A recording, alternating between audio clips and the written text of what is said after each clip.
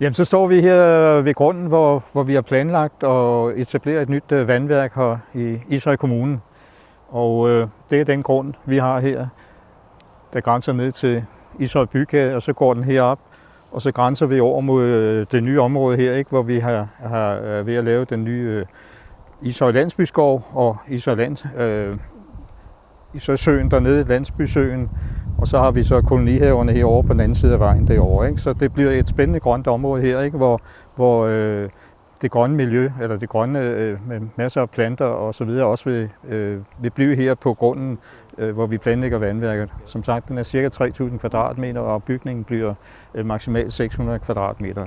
Så den kommer til at ligge her over mod hegnen, det øh, ind til det grønne hegn derovre, og øh, så vil der også blive en sti henover, der vil forbinde ind til de stier, der går inde ved, ved, ved den nye landsbyskov derinde på den anden side af rækværket i øjeblikket. Hvis vi prøver at tage et par skridt ind på det, der så bliver det formentlig kommende vandværks nye grund her. Hvad er så egentlig beslutningen bag overhovedet at bygge et helt nyt vandværk herude i Ishøj Kommune? Jamen det hænger lidt sammen med, at vi øh, igennem mange år har talt om at, og, øh, at etablere et, et vandværk her. Ikke? Altså, Ude på Tranegin Mark, der er der nogle gode vandover, vandår, der går igennem, og det er det udefra, at der, vi også skal øh, foretage de fire boringer, hvor vi skal hente vand herud til. Og når det så blev heroppe, ikke, så hænger det jo lidt sammen med, at vi øh, har, vi har motorvejen længere nede, og vi har den nye højhastighedsbane osv. Og så øh, fandt vi frem til nogle gode boringer herover, også på det her Tranegilde Mark. Tranegilde Mark er et stort område heroppe i den ende af Ishøj.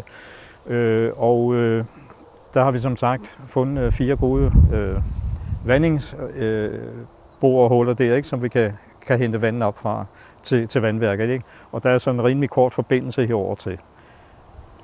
Og hvad, hvordan vil det komme til at gavne Ishøjs borgere, at øh, vi nu får vores eget vandværk?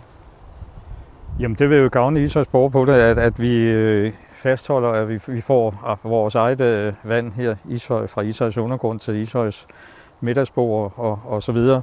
Og øh, også for det, at vi øh, kan sige, at vi kan producere vandet på vores eget vandværk øh, billigere end øh, den måde, vi får det bare i øjeblikket. Øh, og vi får det jo fra det, der hedder for forsyning, øh, der leverer vand til os. Og der, der har vi altså lavet de beregninger, der viser, at vi øh, med et nyt vandværk selv kan hente vand op og levere til en, en, til en fornuftig pris.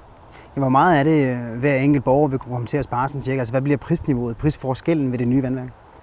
Jamen, der har vi nogle beregninger fra vores øh, rådgiver her, ikke? Der, der viser, at vi kan producere vandet til ca. 3, øh, 3 kroner 13, øh, hvor, hvor prisen på Hofors vand ligger på ca. 5, øh, 5 kroner, altså inklusiv moms øh, per kubikmeter.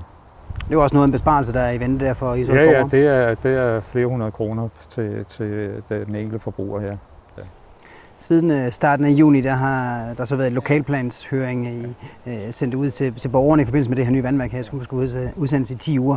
Øh, hvis alt nu går vel, hvornår regner så med, at, at byggeprocessen kan gå i gang, og hvornår kan vandværket eventuelt stå færdigt? De planer, vi har lagt, og øh, nu, nu øh, er der selvfølgelig, som du nævnte, der, der er lokal, lokalplanen af høring, og så ser vi, hvad der kommer ind på, og så skal det behandles. Men altså, vi regner med at kunne øh, gå i jorden her i, en gang i, i efteråret, ikke? og så at, at byggeperioden kører i 19, og så øh, er det så øh, årsskiftet, eller starten af 2020, at øh, vandværket skulle fungere. Ja.